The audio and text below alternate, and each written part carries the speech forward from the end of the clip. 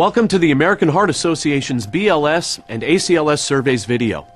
We'll be demonstrating the latest life saving interventions and the skills necessary to successfully manage arrest, peri arrest, ACS, and stroke patients. Most of the instruction will take place here in the American Heart Association's training lab, where we can successfully demonstrate and practice those important skills. You, of course, will have the chance to practice skills in learning stations in your classroom.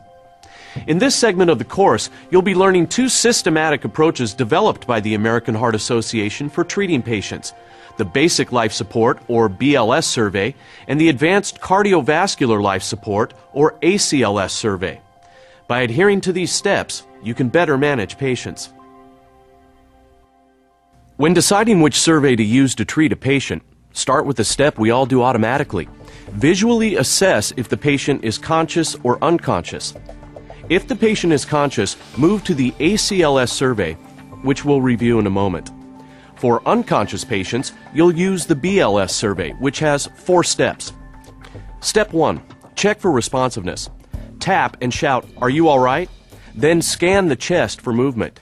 Here you're looking for absent or abnormal breathing. This can be no breathing or only gasping. He's not responding and he doesn't he's not breathing. Activate the emergency response system and get an AED. If the patient is unresponsive, then move to step 2. Activate the emergency response system and get an AED. Step 3. Circulation. Check the carotid pulse. Do not spend more than 10 seconds checking for a pulse. If you cannot feel a pulse within 10 seconds, start CPR.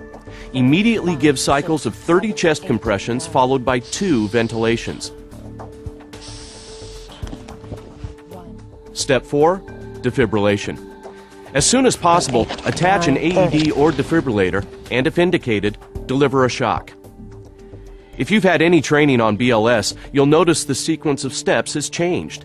You no longer look, listen, and feel for breathing before delivering two breaths. The ABCD sequence often delayed chest compressions as the healthcare provider tried to open the airway and deliver ventilations. By changing the sequence and giving chest compressions first, more patients may achieve return of spontaneous circulation or ROSC. However, if you determine that the patient is not breathing normally but has a pulse, bypass chest compressions and support the patient with rescue breathing, delivering one breath every 5 to 6 seconds. The critical concepts for high quality BLS are push hard and push fast, allow complete chest recoil after each compression, minimize interruptions in chest compressions, switch providers about every two minutes to avoid fatigue, and avoid excessive ventilations. Let's take a look at how the BLS steps come together in an arrest situation. Good morning, gentlemen. Good morning. Joe. Good morning. Sorry it's so early. Yes, thank you so much. All right, now if you look at the graphs, you'll see that the new programs we've implemented haven't really kicked in yet. A 57 year old man is experiencing many of the warning signs of acute coronary syndromes or ACS, with chest discomfort, indigestion, and feeling faint. Daniel, are you okay? You don't look so good. I'm fine. Probably gonna go home early though.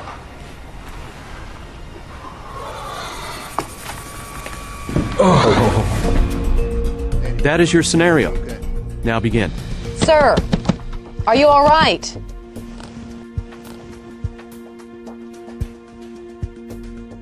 He's unresponsive and not breathing. Activate the emergency response system and get an AED.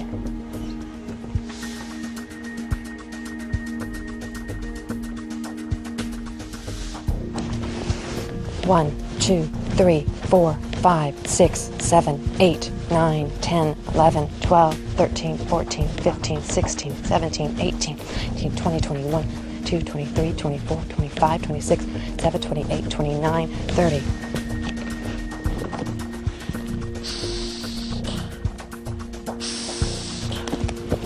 One, two, three. The code four, team is on the five, way. I've got six, the seven, AED. 8, 9, 10, 11, 12, 13, 14, 15, 16, 17, 18. Attach pads 20, to 21, patient's bare 22, chest. 23, 24, 25, 26, 27, 28, 29, 30. Plug in pads connector. 1, 2, 3, 4, 5, 6, 7, 8, 9, 10, 11, 12, 13, 14, 15, 16, 17, 18, 19, 20, 21, 22, 24, 25, Analyzing heart rhythm. Do not touch the patient. Shock needed. One, two, Charging. three, four, five, six, seven, eight, Stay clear 10, of 11, patient. 12, Deliver 13, shock 14, now. To the patient. Press the flashing button Shocking now. on three. One, two, three. Shocking. Shock, Shock delivered. delivered. Begin two, CPR. Start with compressions. High quality BLS is the foundation for saving lives following sudden cardiac arrest. If these steps are performed rapidly and well, the patient's chance of survival increases. The effectiveness of advanced life support measures depends on high quality BLS.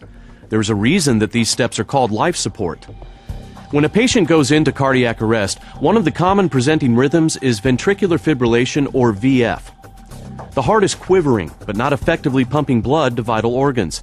High quality chest compressions maintain blood flow to vital organs, especially the heart. Chest compressions are the highest priority in the first minutes of cardiac arrest. One way to measure the effectiveness of chest compression is with coronary perfusion pressure. Coronary perfusion pressure during CPR must reach at least 10 millimeters of mercury to potentially achieve the return of spontaneous circulation or ROSC.